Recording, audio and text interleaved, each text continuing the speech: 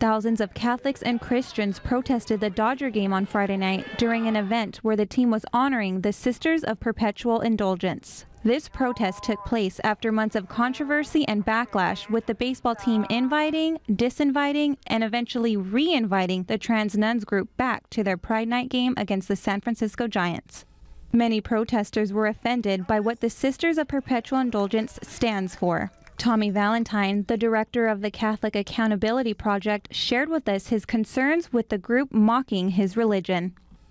And that's why it's so offensive what these men are doing, is because they take everything that these sisters and that our church does for good, and they twist it and they invert it and they make fun of it and they desecrate it. According to the Sisters of Perpetual Indulgence website, they use humor and irreverent wit to expose the forces of bigotry, complacency, and guilt that chain the human spirit. Our message today is that anti-Catholic bigotry has no place in baseball, and what the Dodgers are doing, awarding this anti-hate group, is unacceptable. On the same token, we're here to pray, we're here to show love. We don't hate the men who, who pose as fake nuns. We don't hate anybody in there. We want them to see that what they're doing is offensive, it's sacrilegious, it's blasphemous, and we can't let it stand without saying something about it. So we're here to pray, we're here to show love in contrast to the hatred that's going on inside the stadium.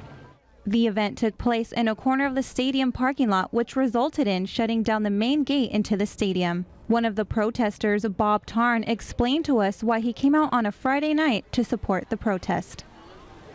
To, to express my views and pray for the Dodgers and the, and the, the group, the Sisters of Perpetual Indulgence. And it's important that we celebrate the way God made us.